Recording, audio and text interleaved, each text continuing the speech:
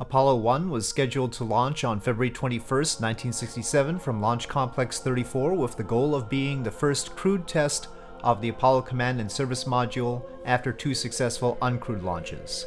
Instead, on January 27, 1967, Gus Grissom, Ed White, and Roger Chaffee were killed in a fire in the command module during a plugs out test meant to test the spacecraft's systems before launch. Grissom had been the first to have a go at Gemini as well and was the right person to give Apollo its first full test. Ed White had proved himself by conducting America's first EVA. This would have been Roger Chaffee's first mission, but he had served as Capcom for both Grissom's and White's previous missions, and after that had been tasked to learn about Apollo, so he knew the spacecraft inside and out. But even with all this experience and knowledge, the crew did not anticipate their fate. As Frank Borman noted to Congress in a hearing, it was ultimately down to a failure of imagination on all sides. Apollo 1 was already at the top of its Saturn 1B rocket, but that wasn't loaded with propellant, and the plugs out test meant that the command module was closed and disconnected from the launch pad systems and power.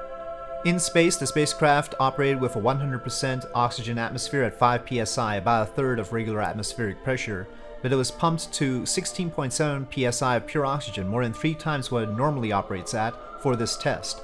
The reason for that was to drive out any nitrogen, but this made things that normally wouldn't have been flammable much more susceptible to catching on fire, including Velcro.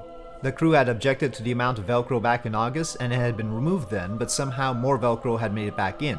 Without a spark, that wasn't a problem, but there was a bit of wire that had lost its insulation because it had been rubbed away by a small door, and other easy to miss fault points.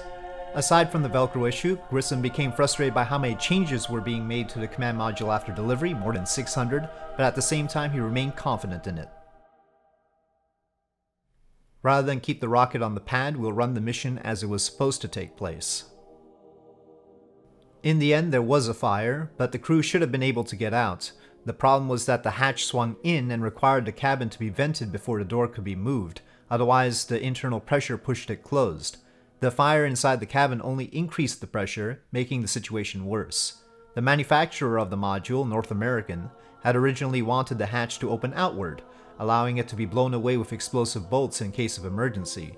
But as fate would have it, Gus Grissom's own Mercury mission, where his hatch bolts accidentally ignited on splashdown and caused the capsule to sink, led NASA to disagree.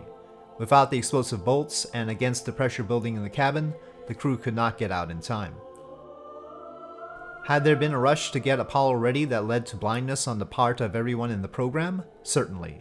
But it wasn't for lack of preparation. Uncrewed tests had been done and the crew is properly familiar with the spacecraft. The spacecraft might have been successful in space, though the Block 2 Apollo altered in response to this tragedy was undoubtedly better. But no one fully recognized that a ground test like this carried risks too, or that the spacecraft might be susceptible before launch.